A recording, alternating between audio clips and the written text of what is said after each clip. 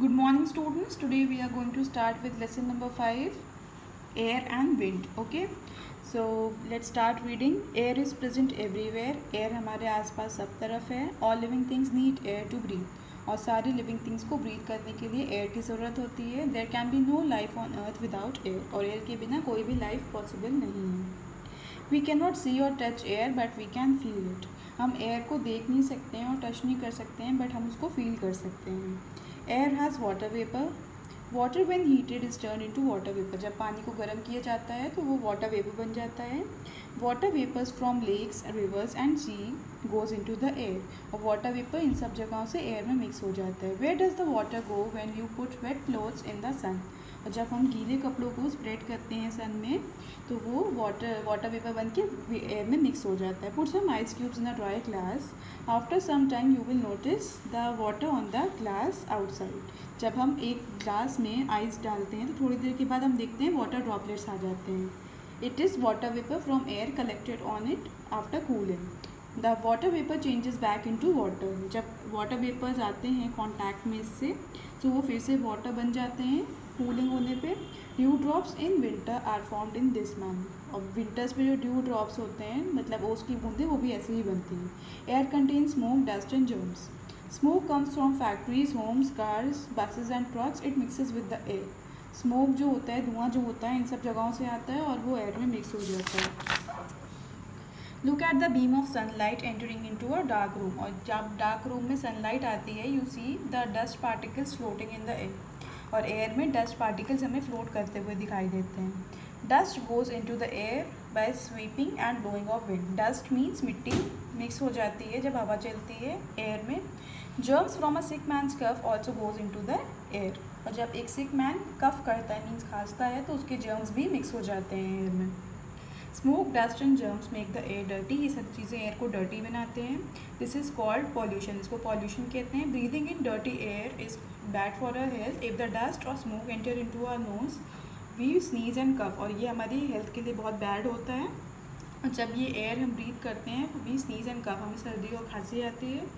The germs make us ill और इससे बीमार पड़ सकते हैं. Breath fresh and clean air हमेशा हमें फ्रेश और क्लीन एयर में ब्रीथ करना चाहिए. We must breathe in clean and fresh air to keep our cells healthy. Healthy रहने के लिए हमेशा साफ़ एयर में ब्रीथ करना चाहिए। Green plants make the air fresh and clean.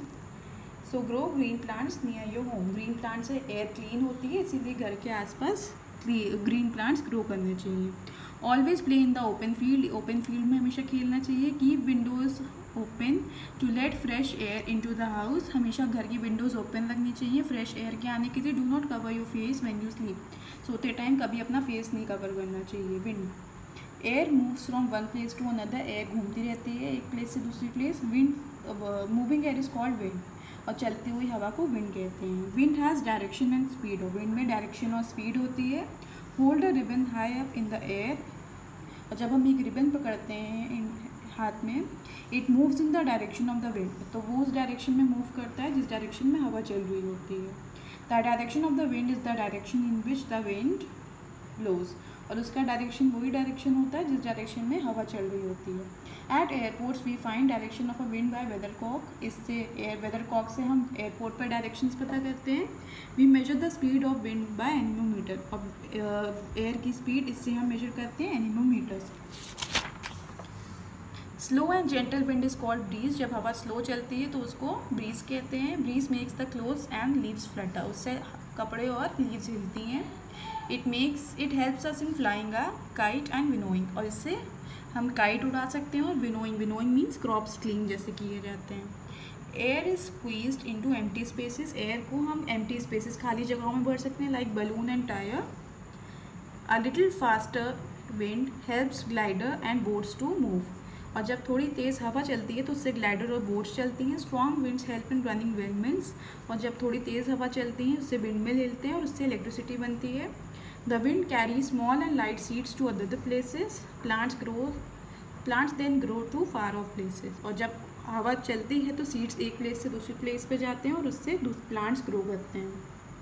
Fast and strong winds cause storm जब हवा तेज़ चलती है तो स्टॉम आता है, तूफ़ान आता है. A violent and very fast wind is called hurricane और जब बहुत खतरनाक हवा चलती है तो उसको हरिकेन कहते हैं. Storm and hurricane cause damage to crops trees and houses इससे इन सब चीज़ों को डैमेज पहुँचता है, नुकसान पहुँचता है. It can make boats and ships sink in the sea और इससे बोट्स और शिप्स भी डूब जाते हैं. तो children we have done the reading of lesson number five tomorrow we are going to start with the exercises of this chapter thank you.